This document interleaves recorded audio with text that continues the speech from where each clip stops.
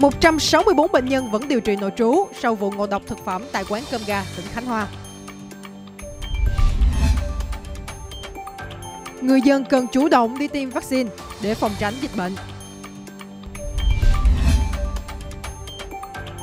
Cảnh giác với quảng cáo mạo danh tràn lan khi mua thuốc trên mạng.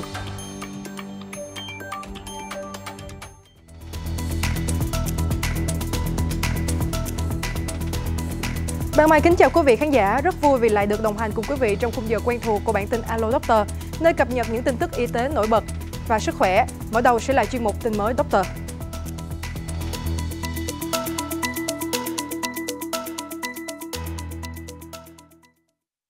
Hiện còn 164 người đang nằm điều trị tại 12 cơ sở y tế trên địa bàn tỉnh Khánh Hòa, trong tổng số 360 ca nghi ngộ độc sau ăn cơm gà tại quán Trâm Anh, thành phố Nha Trang. Số còn lại đã xuất viện hoặc đang kê đơn thuốc về nhà uống. 164 người đang nằm viện hiện sức khỏe ổn định, tiến triển tốt. Dự kiến tới hết ngày hôm nay, 18 tháng 3, hầu hết sẽ được xuất viện.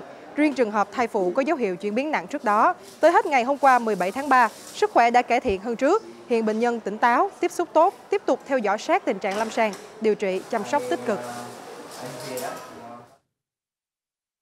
Chỉ trong một thời gian ngắn, Bệnh viện Nhi Trung ương đã cứu sống hai bệnh nhi bị ngộ độc nặng do uống nhầm thuốc. Trường hợp đầu tiên là nam bệnh nhi 13 tuổi, có dấu hiệu trầm cảm, uống hai tuyếp thuốc diệt chuột không rõ nguồn gốc tự đặt mua trên mạng.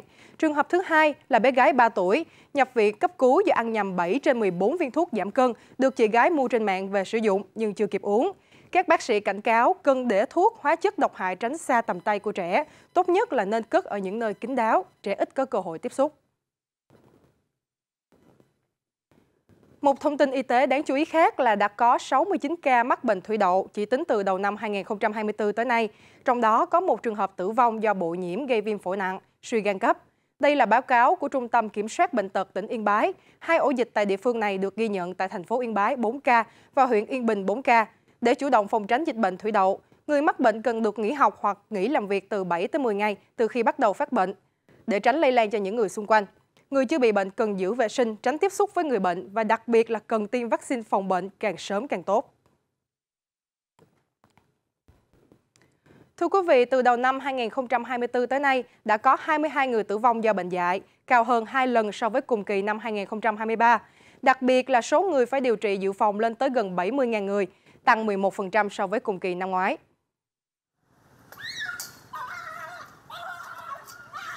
Cục Thú y cho biết tới nay đã ghi nhận 45 ca bệnh dạy trên động vật từ 22 tỉnh thành, tăng 6 ca, gấp đôi so với dịch so với cùng kỳ năm 2023, cho thấy việc quản lý đàn chó, mèo ở một số địa phương còn lỏng lẻo. Tỷ lệ chó mèo nuôi được tiêm vaccine phòng dạy còn thấp, chỉ đạt khoảng 50% tổng đàn dẫn tới gia tăng số ca bệnh dạy trên động vật. Bộ Y tế đề nghị các địa phương chủ động giám sát chặt chẽ các trường hợp bị chó mèo nghi dại cắn để hướng dẫn tiêm phòng và xử lý ổ dịch kịp thời tăng cường công tác phối hợp liên ngành y tế và thú y để giám sát, phát hiện sớm các trường hợp bị động vật nghi dại cắn. Hiện nay thì ứng dụng công nghệ thông tin, chuyển đổi số trong cải cách thủ tục hành chính để giảm phiền hà cho người bệnh là yêu cầu mà Bộ trưởng Bộ Y tế đặt ra cho toàn ngành năm 2024. Ngành y tế đã cắt giảm 92 thủ tục hành chính, ứng dụng chuyển đổi số để nâng cao chất lượng khám chữa bệnh.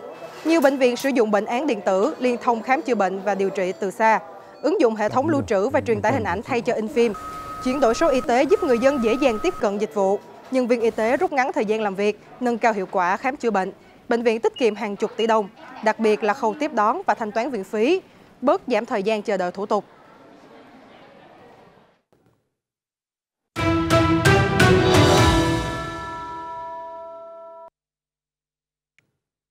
Già thì yếu, yếu thì sẽ đi đứng khó khăn, thậm chí phải dùng tới xe lăn và giải pháp duy nhất là nghỉ ngơi, hạn chế vận động. Đây là suy nghĩ không khó có thể nhận ra trong cộng đồng. Tuy nhiên, phóng sự sau đây của chuyên mục Doctor Bắt Bệnh sẽ đưa ra một góc nhìn mới của phục hồi chức năng, cho thấy tuổi cao hoàn toàn vẫn có thể phục hồi vận động, tự chủ trong đời sống bằng những biện pháp trị liệu tiên tiến.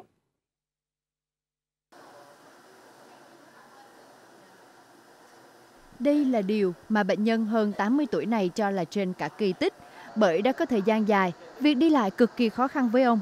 Thậm chí, người thân đã nghĩ đến chuyện mua xe lăn vì khả năng phục hồi gần như không có. Tình trạng này xuất phát từ nguyên nhân rất thường thấy. Mình dẫm vào cái mảnh thủy tinh là mình đau cái bàn chân rồi mình cứ né thế nó thành tật khi mà chịu tải chịu lực không đồng đều như vậy dần dần nó không phải chỉ có đau cái gối mà bị tổn thương không đâu mà nó do tăng tải lên và họ sẽ đau nốt cái gối còn lại bắt đầu bị biến dạng cuộc sống luôn bị lệch cả cái hông chậu của họ luôn từ đây liệu trình cũng như mục tiêu phục hồi cho bệnh nhân cũng đã có những thay đổi đó là tập trung vào chức năng đi của bệnh nhân mà cơ bản nhất là bước chân đi đúng đều và đẹp thảm lăn kháng trọng lực đã được sử dụng cho mục đích này ở trong giai đoạn đầu tiên, bệnh nhân chỉ yêu cầu chịu tải 60% thì chúng tôi có thể giảm trọng lượng cơ thể bệnh nhân còn có 60% thôi. Bệnh nhân có thể ngay lập tức à, đi bộ được.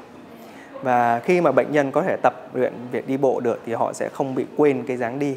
Ở đây không phải chỉ có tập cơ bắp đơn thuần mà họ phải đánh thức vào cái hệ thống thần kinh trên não bộ.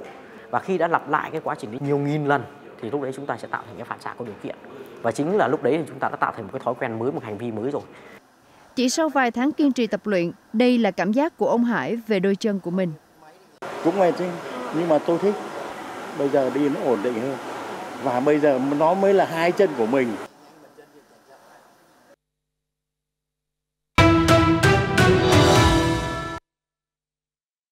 Mùa hè đang tới gần, đây cũng là thời điểm mà sốt xuất huyết, viêm não Nhật Bản hay là tay chân miệng và cúm rất dễ tạo thành dịch ở quy mô lớn.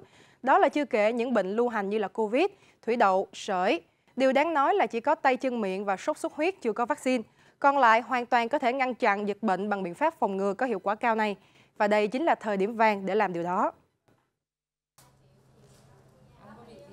Có bệnh nền mãn tính về phổi và duy trì điều trị đều đặn. Nhưng ông Phạm Văn Thành vẫn đến chích vaccine người bệnh do phế cầu. thấy mình già rồi mình sức yếu rồi mình phải trích chứ để tới nằm nhẹp luôn sao Không chỉ bảo vệ sức khỏe cho bản thân mình, ông Thành còn đang góp sức tạo hàng rào miễn dịch cho cộng đồng trước các căn bệnh do nhiễm phế cầu khủng. Với cái tỷ lệ tiêm chủng giảm xuống đó thì cái nguy cơ sẽ bùng phát dịch. Chính vì vậy mà người ta đưa ra những cái chiến dịch phải tiêm vét trước khi mà để ngăn chặn cái dịch bệnh nó có nguy cơ xảy ra. Để các vaccine phát huy hiệu quả tạo miễn dịch cho cơ thể, việc chích ngừa cần phải được thực hiện trước mùa dịch tối thiểu từ 2 đến 4 tuần. Tuy nhiên, đối với quốc gia có khí hậu nhiệt đới như Việt Nam, thì một số loại vaccine cần phải được tiêm bất cứ lúc nào có thể. Việt Nam của chúng ta là vùng nhiệt đới, cúm nó có quanh năm thành ra tại thời điểm này các anh chị muốn đi tiêm nó có loại vaccine gì thì chúng ta tiêm loại vaccine đó, đừng đợi đến dịch xảy ra rồi mới đi tiêm. Thành phố Hồ Chí Minh cũng đã xuất hiện ca viêm màng não do phế cầu ở trẻ em, nhiều dấu hiệu báo động cho khả năng gia tăng ca bệnh ở thời điểm giao mùa đầu năm. Vì vậy, các bác sĩ cảnh báo đừng để nước đến chân mới nhảy mà hãy tự bảo vệ mình trước nguy cơ dịch bệnh.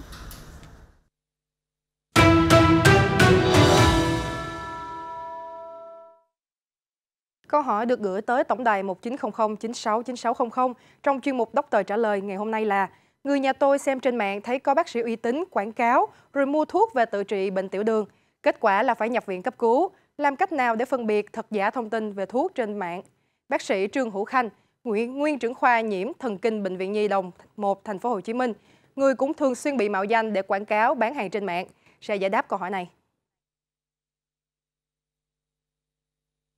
cái thuốc tiểu đường rồi viêm khớp và giãn tĩnh mạch với cái tần suất á, cái tần suất mà họ quảng cáo đó nó vẫn còn ảnh hưởng tới người dân. Hiện nay cái cái cái, cái thuốc tiểu đường nó chia làm hai cái. Cái thứ nhất là viết viết bài rất là khoa học khúc trên nhưng mà lại để chèn vô khúc dưới.